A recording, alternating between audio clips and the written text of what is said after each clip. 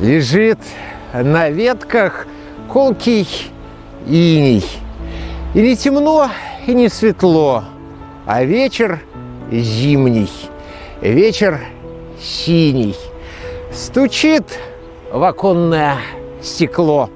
Этим строчкам Бориса Свойского уже почти 50 лет.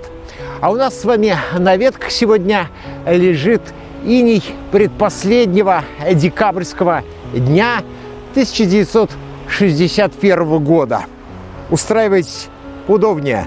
Возвращаемся на 50 лет назад. Смотрите программу «Город. История. События» на телеканале «Самара ГИС».